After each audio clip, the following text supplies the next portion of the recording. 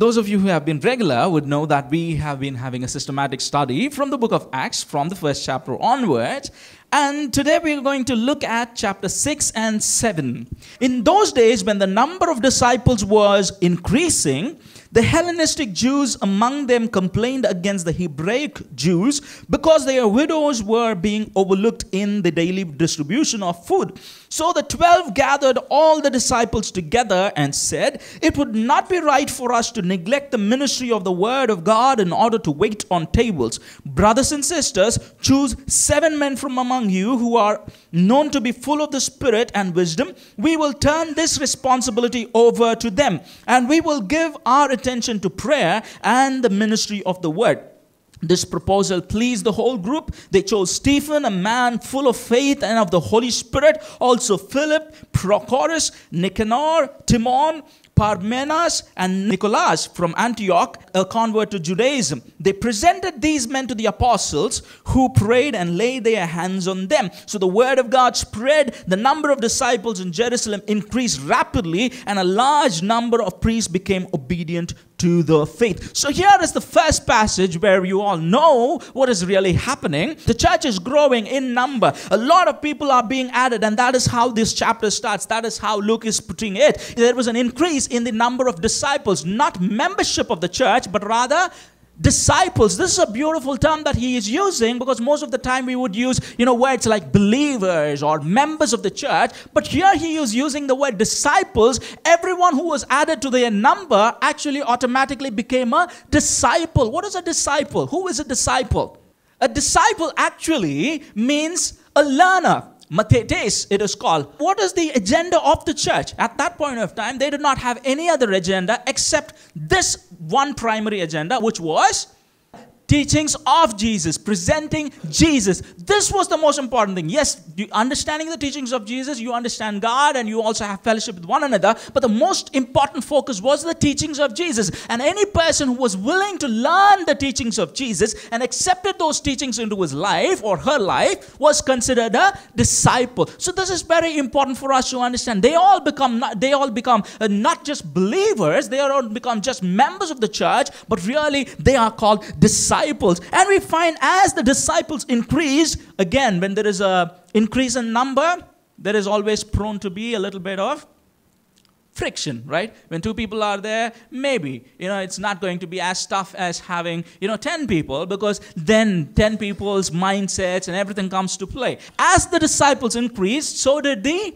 problems so did the you know misunderstanding. So what was the misunderstanding here it looks like the church has been taking care of the widows. Again, you know, Luke has not talked about it earlier in detail, but right now we know that the church is taking care of the widows because at that point of time we need to understand that it was a male chauvinistic society right where women had actually you know very uh, little respect and they, they were not able to fend for themselves. They were not able to because they could not work. They were not allowed to work. They were not given education. So they are supposed to be at home. And if the uh, father is not there or the husband is not there, that means this woman is left without any means to feed herself and take care of herself. So at this point of time, widows, anyone who's not been able, who's not able to take care of themselves, are taken care of by the church. At that point of time this is how it is. So it's a beautiful you know paradigm. This is a beautiful system that we all need to follow. You know anyone who's in need last week we looked at that. Anyone who was in need anyone who was not able to take care of themselves was taken care of by the church. So we did not know you know how many people were there but it looks like there were a lot of people. Widows aren't there and they had been taken care of by the church. But there is a kind of a division there. What is the problem? That some widows are neglected at the cost of other widows. Okay, so there is some kind of a favoritism that is at work. You know, nepotism. You know the word nepotism? Nepotism means being favorable to someone close to you. Okay, that means nepotism. Okay, and uh, favoritism is at play. And they say Hellenistic Jews. Who are these Hellenistic Jews? Hellenistic means Greek. Okay, Hebraic obviously means the Hebrew language. Okay, so there are there is a division between the Jews themselves. Okay, and it is very humorous for us. Okay, so we, we have other divisions, right? We have other divisions like caste and color and creed and things like that. But within them, they are all Jews. Yet they have this distinction because some of them are speaking Jewish language. Some of them have uh, you know taken the Greek language as their language. So they are not very pure according to these Jews. Okay, they are not very pure, pure because they have you know embraced the the, the Hellenistic or the uh, Greek culture, right? So there is a division there. And now what is happening here? The, mm, uh, they are bringing this problem to the disciples. So the 12 gathered all the disciples together. That is in verse number 2, right? And it would not be right for us to neglect the ministry of the word in order for us to wait on tables. What are these people saying? Why are the disciples saying this? Are they demeaning waiting on tables? Are they demeaning waiting on tables? They are saying, you know, we will only focus on ministering the word, teaching the word. We will not neglect doing that for waiting on tables. It looks like they are demeaning, but the next verse clarifies this to us where it says, Brothers and sisters, choose seven men from among you to wait on tables, right? And they have to be full of the Spirit and wisdom. So they have a very huge uh, uh, criteria that they keep for them to wait on tables. Now we understand that this was not a you know responsibility that they shunned or said, okay, this was not so very important. In fact, they are giving so much importance that it only not only in function because it is very important, but also in priority, where they are saying this waiting on tables should be done by people who are full of full of faith and full of wisdom. Full of the spirit and full of wisdom. I'm sorry, the full of full of the spirit and full of wisdom. What does it mean? What did the Spirit enable them to do? This is what we have been looking at all through the book of Acts, right? What is the Spirit enabling them to do? That they are able to be witnesses. And uh, why are they witnessing? So that other people could be a part of the kingdom. So, anyone who has got this understanding of God, the right understanding of God, today we talk about a different thing. When we say, Oh, I've got the Spirit, we don't talk about this at all. But they, when they were talking about the Spirit, they were talking about a person who has understood the idea of God, where they knew that, you know, they were proclaiming the kingdom and people had to come into the kingdom so that they could, uh, you know, have this beautiful life with God. And everyone who had that and wisdom. Why wisdom? Because they have to deal with people, they have to be impartial, they have to be very responsible. So they are finding these people, seven of them, and they are saying, from now on, this is your responsibility. We will give our attention to prayer and the ministry of the word. This is what we are going to focus on. Okay. So now they are choosing seven people, and there, you know, one person is given a specific kind of a, uh, importance. Who is that? They chose Stephen, a man full of faith and of the Holy Spirit, and also Philip, and so on and so forth, right? Seven people are there. You know, this is one of Luke's uh, technique every time you would find it that he would mention someone in an offhand ma- manner, and then the next step would be focusing on them. He would present someone, introduce someone, and later on he is going to expand on that. So he is talking about Stephen, and this man was full of faith and he was full of the Holy Spirit. Why is he being is he being chosen? Because he knows the idea of God. Because he has the power, he has the you know the, the spirit by which he is going to witness. He has the same idea as God has, and he is going to bring about uh, that kingdom of God. And this is very important. He is a man who's impartial. There are partial people, and we find people, seven people are chosen so that they can be impartial, so that they can mete out to the people without being without showing any kind of a favoritism. So we have the impartial man, Stephen, along with the seven of those people. So today's message is going to revolve around this particular character, Stephen. So we have the introduction where he's introduced us as one among the seven who is going to be impartial, who is going to understand the you know mind of God, who is going to witness, who is going to establish that kingdom of God and equality. It is beautiful. And then he goes on where he says, though the word of God spread, the number of disciples in Jerusalem increased rapidly, and a large number of priests became obedient to the faith. So here we find again, uh, you know, the, the gospel is spreading, and a lot of people are coming into the kingdom of God. It is beautiful. Then, verse number 9 or 8 onwards, now Stephen, a man full of God's grace and power, this is when we know, you know, the, the story is going to shift more into focusing Stephen. The, now, Stephen, a man full of God's grace and power, performed great wonders and signs among the people. How was Stephen being introduced? Two things that, that are being told about Stephen.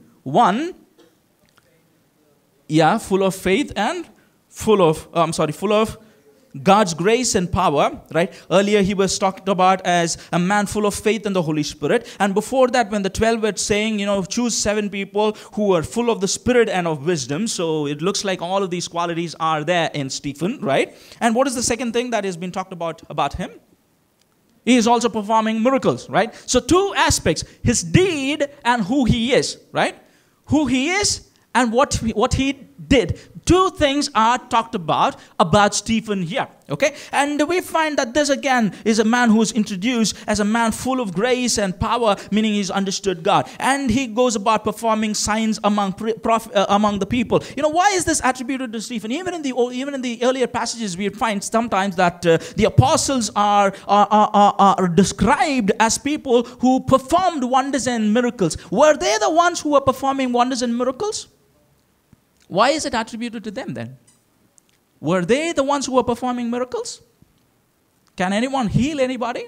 Can anyone make the dead people walk? Can we? Can anyone, you know, uh, um, yeah, perform miracle signs? Who does all of those things? God. So why is it attributed to them then? People attributed it to them, and that is how Luke is presenting it, right? You need to understand this. There is something called metonymy. You know, this is, a, this is a concept I wanted to talk about. Metonymy is basically substitution. Even earlier, we would find that uh, there is a verse which says, in the second chapter, where it says that God was adding to their numbers. God was adding many people to their numbers. Who was actually adding? Because of what? Because of their preaching. So, who is actually making people come into the kingdom? They are preaching, right? So, how is God said to be the person who is bringing people into the kingdom? How is it? Yeah, obviously, God is sovereign. We understand that. But, but again, that again is called metonymy. Okay, I'll, I'll give you one more example. In the Old Testament, we have you know passages where it says God hardened the heart of Pharaoh, right?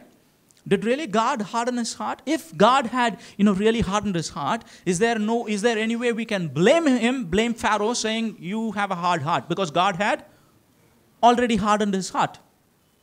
It's called metonymy, where one person is substituted for the other. Supposing I say, I built my house there, right, in a particular place. Did I build it? I, I built it, I took the stones and I took. No, I used someone, I had the intent, someone else fulfilled it. But ultimately, I am the one who caused it to happen. And therefore, I say, I built it. Okay? So, a metonymy is this that sometimes one person is substituted for the other. So we need to understand that definitely this is not what the apostles were teaching. We are healing. No, they always taught that it was God, but people understood it. And we need to understand this concept of metonymy because in, a, in, in the book of Acts, we would find it in a lot of places. Okay? So I just want you to know that. Then we find that this man is being very powerful. And here, because of that, verse number 9, opposition arose, however, from the members of the synagogue and who began to argue with Stephen. But they could not stand up against the wisdom the Spirit gave him as he spoke. Then they secretly persuaded some men to say, We have heard Stephen speak blasphemous words against Moses and against God. So here we find he's a powerful person, and people are not, people are opposing him. The synagogue leaders are opposing him. Why are they opposing him? Why did anyone oppose the uh, apostles? Why did anyone oppose Jesus Christ? Here is someone who comes and tells you the truth and people, because see, truth is a powerful thing.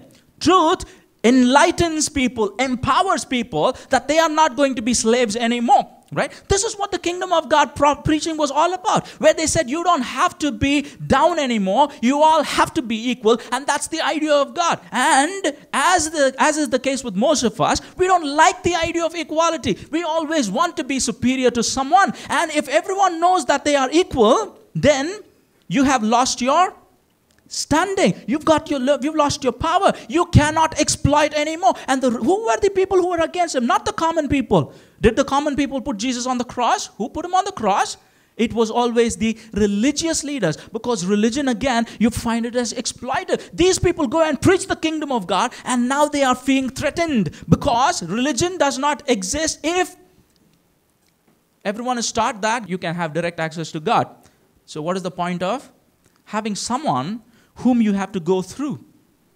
Right? Is that true or not?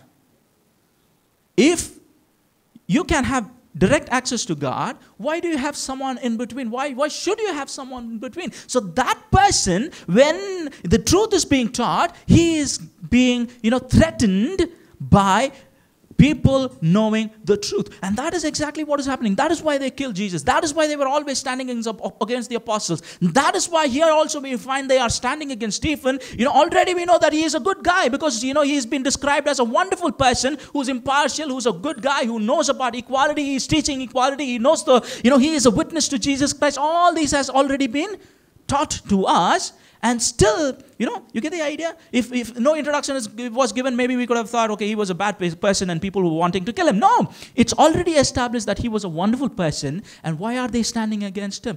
Because he is standing in the way of them exploiting. This is an important thing for us to understand. If you preach the gospel, if you really understand the gospel, if you really understand the kingdom values, you would definitely be against exploitation and you would definitely be a kind of a reformer. You would be impactful. You know, look at this. This guy has, uh, you know, so very impactful. He's performed some miracles. He is going and preaching the gospel and they feel so threatened and they want to accuse him. They don't have anything, you know, true to say against him. So they go about creating false witnesses witnesses where they come up and say, What? He was speaking against Moses, he was speaking against the law. They are trying to, you know, kindle a kind of a tense situation there where people would be against Stephen. But in fact, Stephen was a, such a wonderful, such a good person. So could this happen to us? It would, but we need to be, it is our one, it is our responsibility that we impact the world with the gospel. You know, sometimes when you disillusion people, you know, those people who are disillusioned might be happy, but the people who had kept them under the illusion are going to be very, very angry with you.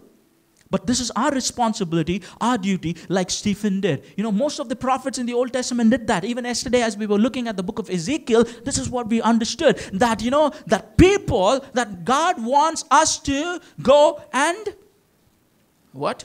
What is doing His will? Basically, this Proclaiming the kingdom. Proclaiming the kingdom is this about equality, about the kingdom of God. When you do that, people are going to stand against you. But God says, even to the prophets, because they were all uh, reformers, let me tell you, all of the prophets were reformers. They had to stand against people. Not because they did not love the people, they loved people, but because they had the passion to set everything right.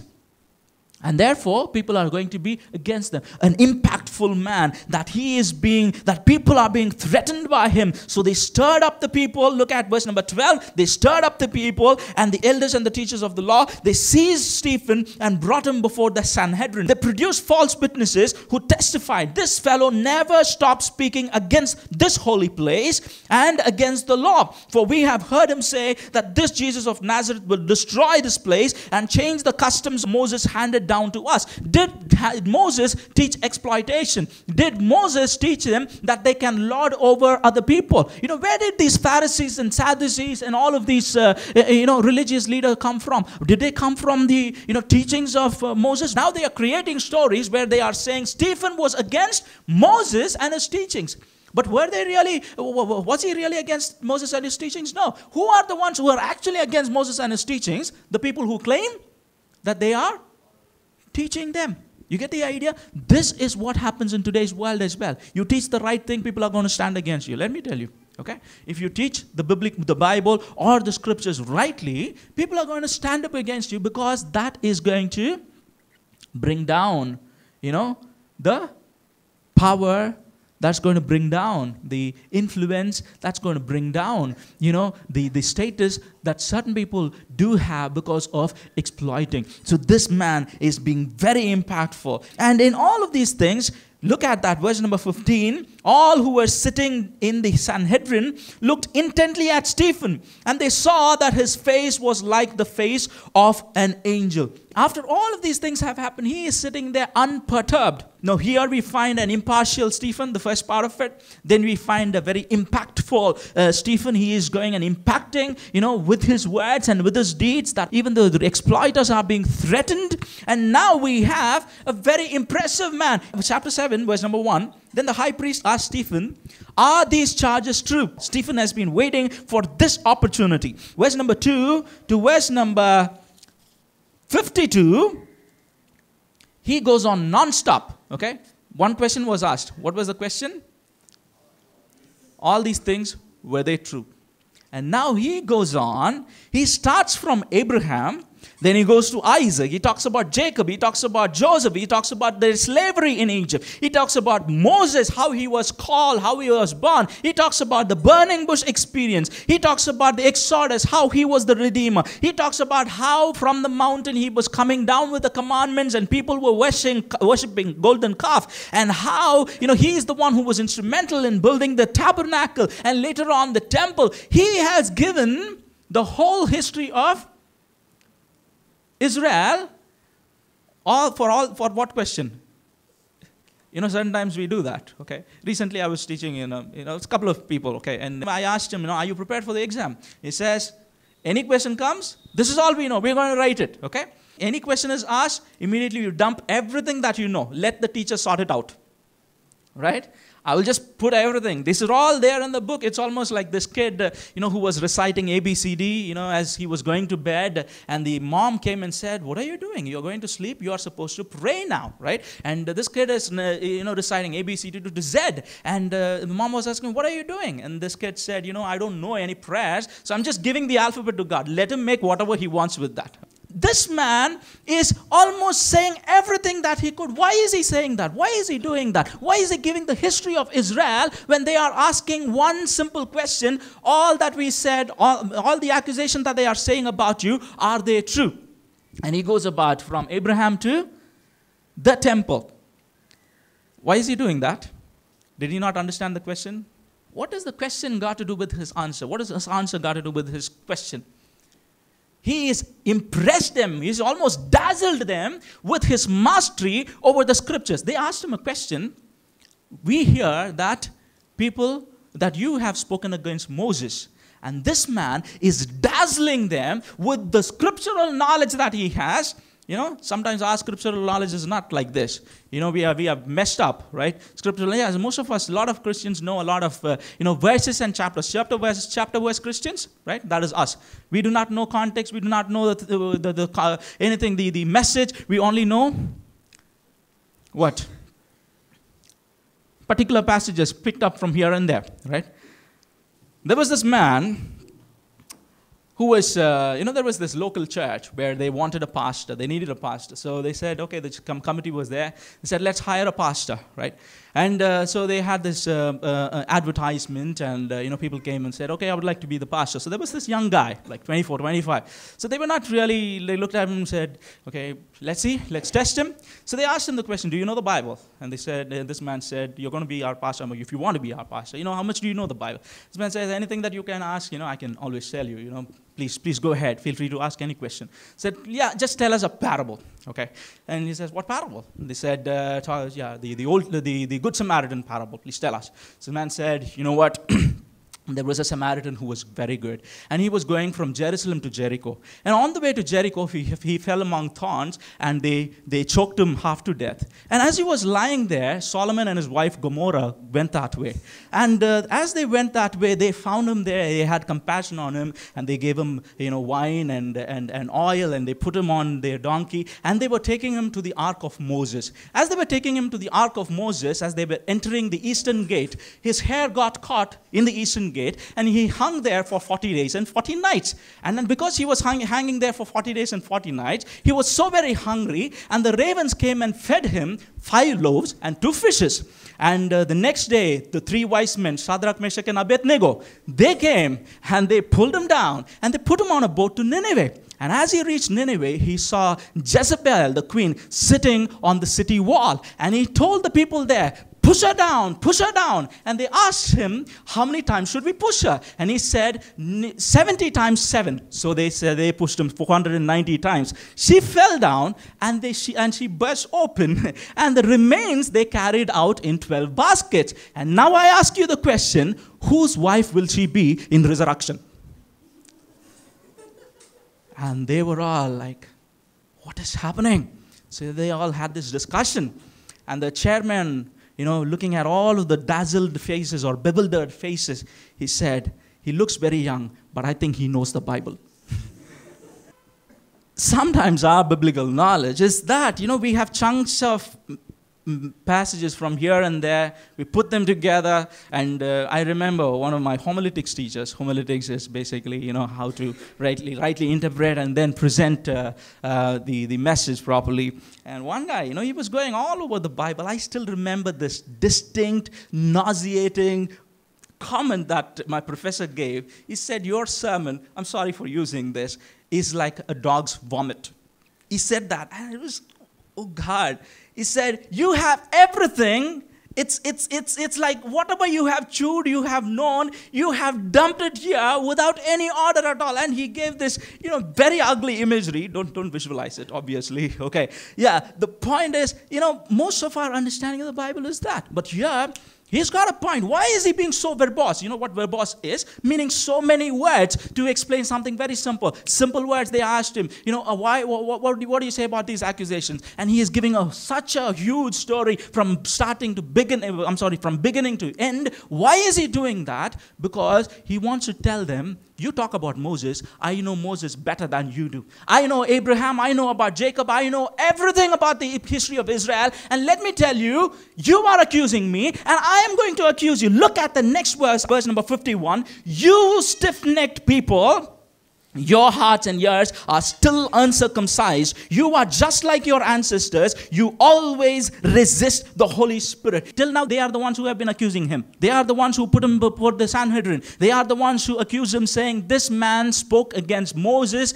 and the customs of Moses, the law of Moses. Now he turns around and says, It's not I who have broken the law, it is you you have been rebellious people. You have been murderers. You not only murdered prophets, but you also murdered the one whom they were prophesying about. He says, You killed, look at that. He says, You killed the righteous one. Verse number 52 Was there ever a prophet your ancestors did not persecute? They even killed those who predicted the coming of the righteous one. Anyone who even prophesied about this kingdom, about the Messiah who's going to bring about this kingdom, you kill them. They are accusing him of blasphemy. He's accusing them of murder. And this is why he's used that. He is saying, I am more of a Jew than you guys are. But I am, I know my scriptures, you are exploiting the scripture. That is what he is doing. You get the idea? An impartial Stephen is not partial, right? Because of, you know, full of grace, full of faith, full of power, full of the Spirit, he is impartial. He knows the kingdom, the equality, and that is why he is chosen as one of the people who would be able to make that happen. The impactful Stephen, through his life, his teachings, his proclamation, and through him the wonders being done, and therefore people are being threatened, right? They are scared, and therefore they oppose him. He is very impacting. If there is no impact, people would not really bother, right? If you're no threat to anyone, no one is going to stand against you. Only if you are a threat, then people stand against you. He has been impactful. And now, when he is asked a question, he's almost, when I was reading, you know, I was almost thinking, this is the question that Stephen has been waiting for. When will they allow me to speak?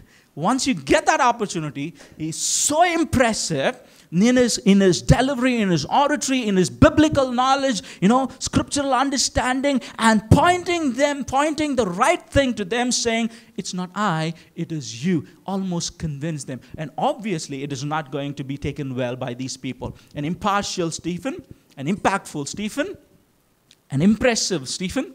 Verse number 54 When the members of the Sanhedrin heard this, they were furious and gnashed their teeth at him. So, what is happening is they are very furious because he has pointed his fingers at them and he said, You are the ones. But Stephen, full of the Spirit, again, look at look at this so many times it has been re- repeated, full of the Holy Spirit, meaning at that point of time he did not get, uh, you know, some kind of a new phenomenon or uh, something like that. No, what is happening is he was already full of the Spirit because, because he was already godly, he was already impartial, he was already a person who knew the ideal of God and he was trying to put it into practice. And here we find full of the Holy Spirit, looked up to heaven and saw the glory of God and Jesus standing at the right hand of God. Look, he said, I see, I see heaven open and the Son of Man standing at the right hand of God.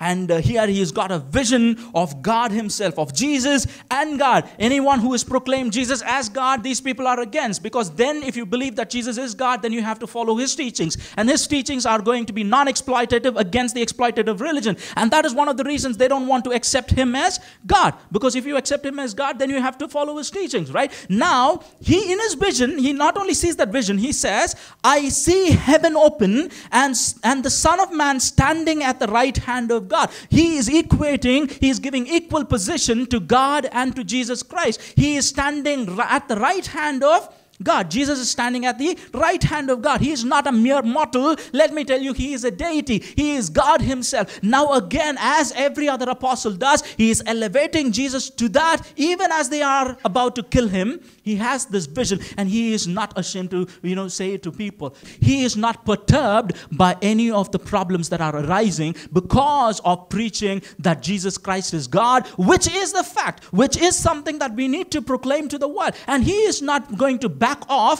just because they are going to throw stones at him. Look at that. They have dragged him from the Sanhedrin. They are taking him someplace and they are about to stone him as they, and uh, now as he said that they covered their ears and yelled at the top of their voices. And when I was looking at that, I was saying drama queen. You know what drama queen is? Yeah, too much of acting. Okay. right? Uh, see, as he was saying, I see heaven open and Son of Man standing at the right hand of God. At that, they covered the ears and yelled at the top of their voices. Yeah, too much of reaction, right? Too disproportionate to what is happening. They are, you know, making such a big deal of that, and they are dragging him to the city. And meanwhile, the witnesses laid their coats at the feet of a young man named Saul. Again, a very incidental detail, but Saul is going to be talked about in detail later on. This, again, I want you to know is that is another technique of Luke. A peripheral character becomes a central character later on. Uh, Stephen was one among the seven, he becomes the central character. Look at that. Yes? Here also, he's introduced Saul as a man at whose feet, you know, they, they put the cloaks and they are uh, uh about to uh, go and stone this guy. And uh, he's going to be talked about later on. That is just an incidental detail. While they were stoning him, Stephen prayed, Lord Jesus, receive my spirit. Then he fell on his knees and cried out, Lord, do not hold this sin against them. When he had said this, he fell asleep. What a beautiful passage where it talks about he stood his ground till the end. It didn't matter. He died with a smile on his face where he was almost saying, Even before I die, I'm going to proclaim that Jesus is God and I'm not going to go to back off. I'm still going to say what he taught was the right thing that you need to follow. As they are stoning him, look at the magnanimity. He is looking at these people who are killing him and he says, Do not hold it it against them. This is, in fact, being a disciple. This is, in fact, being a disciple. He's not given the title of an apostle, but he definitely was definitely like Jesus. You know, look at the same way he says, He says, Father, I give my spirit over to you, Jesus said, right? And this is what he is saying Lord Jesus, receive my spirit. What does it mean? Ah, surrender, submission. And also saying, I'm willing to do that. It's not forced upon me. I willingly give my life. You get the idea? It, it shows that this man was so sold out that he was saying, and that is why he's not angry against those people. Was his life taken by force? Yes, it was. They are taking it by force. But according to him, he is saying, it doesn't matter. I am giving it as though it is unforced. I'm giving it as voluntarily. I am doing it on my own. That is why he's not holding it against them. You get the idea? When you think that someone is uh, forcing you to do something, then you will be angry. But you say, yeah, you forced me to do it, but I'm going to just give it make a voluntary decision to give it. You want my cloak? And I think, you know, that is very forceful. I will be angry. But if I make a decision saying, okay, you want that cloak, I'll give that cloak, that makes, I, I will not have any anger against that person because you have made the decision out of your free will. Yes, you, you were forced, right? But at the same time, you, from your mind, you're saying, no, I'm not forced. I'm just going to give. This is what Stephen is doing, where he is such a wonderful character that nothing is deterring him from the faith. Can we be people like that? That we know the kingdom of God. We are working for the equality of people. We will not stand against equality. We will stand for equality. We will not stand for inequality, not being partial. Can we be people who go about impacting the, impacting the society? It doesn't matter whether they are going to approve of you, put you on a pedestal, laud you, or they're going to persecute you. I'm going to be impactful. Can we be, you know, so impressive as this man was? Any opportunity that you got, he is using the scripture to prove to them he is being impressive, yes, you know, impressive knowledge of the scripture. Do we have that? What about that immunity? When a problem comes, this is what my, our mind says. You know, a problem comes, a persecution comes, we immediately say, God, come down, kill them. They are persecuting the church. But in fact, being a Christian, being a true follower of Jesus Christ, being a part of the kingdom also has this in the job description. It has always been there in the job description. Okay? Whenever Jesus Christ, uh, people were, were wanting to follow him, he immediately disclosed to them that when you follow me, you will be hated because because you are going to stand against a majority. This is something that he did. So it is not about we need to have that. You know, all the prophets were already taught, you know, even in the book of Ezekiel, God has already told them, you know, go to your house, he says, you will be you will be tied up by people but I will not allow you to speak against them. God says, but I want you to correct them. I want you to help them be a part of the kingdom. But I will not allow you to rebuke them. This is a cost that you have to pay if you want to follow Jesus and be a part of the kingdom. But may God help us that we will understand, that we will learn, that maybe we will be able to imitate some of the things that Stephen did. Let's bow down our heads and look to the Lord in prayer.